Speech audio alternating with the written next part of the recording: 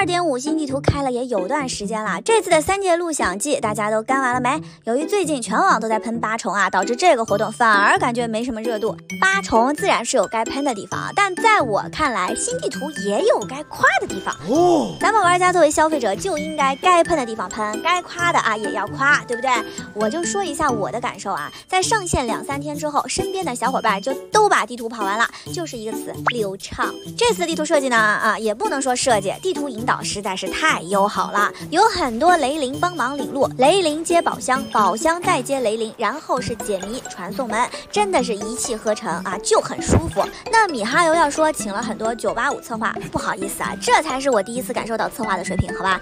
咱就是说到期的雷灵，我刚见的时候真的是想喷，电脑端还好，屏幕大，我手机端经常被那个雷灵左右晃两下就跟丢了，根本不知道他为啥要这样设计。像这次的雷灵啊，就起到了领路的效果，这样才有意义嘛。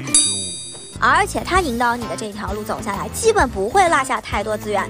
挑战宝箱都能在路上看到，就算偶尔有些没注意，它有这个盒子能一键探索周围啊，真的是直接五星好评好吗？完全碾压什么风之寻宝罗盘、颜之寻宝罗盘好吗？所以做这个视频也是想了解一下大家的看法，大家是喜欢这种引导比较清晰、资源都比较好找的地图呢，还是喜欢那种哈阴间一点的自己慢慢探索的地图呢？喜欢好找的刷一，喜欢难找的刷二。我们来康康比例，大家踊跃表达看法，因为我觉得策划呢其实是在做测试，就像。听内鬼爆料之后，还会有什么格挡的玩法？但都是在活动里的，可以说就是先放在活动里测试，大家反响好的话，也许就会照搬大世界。哦，所以如果跟我一样喜欢这种比较友好的地图引导的，千万记得点赞、转发、收藏什么的啊，帮忙推广一下，最好能让官方看到大家的这种态度。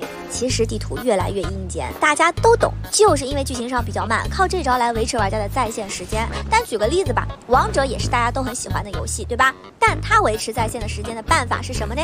臭名昭著的 E L O 排位机制，原神肯定远没到那一步，但是地图别那么阴间，我个人还是比较向往的。而且现在还有部分学生玩家被制裁，他们哪有那么多时间出大地啊？至于那些说喜欢复杂地图的人啊，我仅代表我自己刚一句，请问你们的宝箱都是地图上逛出来的吗？啊，没有看攻略的吗？请问你们的铜都是地图上逛出来的吗？没有看攻略的吗？如果看攻略的话，那直接有个像这次活动一样的装备，会不会更好呢？当然，傻瓜式地图我也是不期待的，偶尔来些阴间的宝箱还是可以增加探索的乐趣的。只是啊，希望大多数都能好找一点吧。嗯，大家觉得呢？